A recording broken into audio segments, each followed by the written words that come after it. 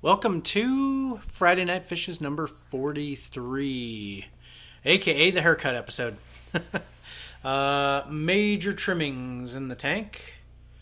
Uh, you know, I was just looking at it and it was getting completely overgrown. Uh, you can see there's still some pieces up along the top that I need to grab and toss into my worms. But uh, I'll tell you what, the fish love it. Uh, you know, I trimmed it about an hour ago, and they are just exploring new places. They're out and about a lot more. Uh, you know, just they just seem generally happier. Uh, I think what was really happening is, for the most part, they were just hanging out over in this side of the aquarium. Uh, you know, and and avoiding the thick, thick jungle of the other side.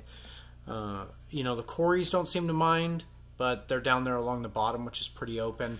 Uh, you can see they are they are loving it. I mixed, you know, stirred up all the mulm, did about a 25% water change in this tank. Uh, it didn't really need it, not even trace ammonia. Um, nitrates were low, nitrites zero.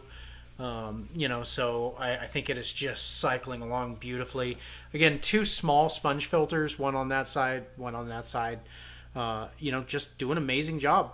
Uh, I have no complaints about it at all, even though I just mixed up the water. You can still see there's some stuff floating around in there, but for the most part, it's really not that bad.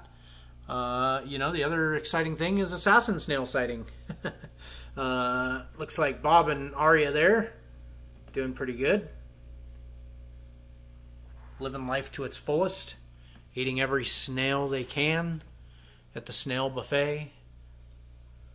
All the other fish doing amazing. Speaking of other fish doing amazing, over here in the 10 gallon, aka the Life Will Find a Way tank.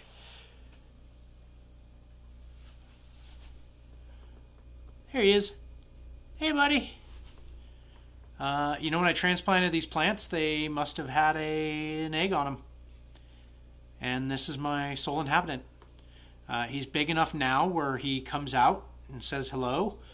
Uh, my plan, honestly, was to put three pea puffers in this tank. Um, you know, hence the reason I was transplanting so many snails into here. But now that he's in there, I'm hesitant. I don't know what to do. I don't know if I want to put him back in the other tank, um, you know, with the other fish once he gets a little bit bigger, or, you know, what I want to do. But uh, I did about a 50% water change in here today. So uh, you know, he's happy. He's out and about. Anyway, thanks for watching. See you next week.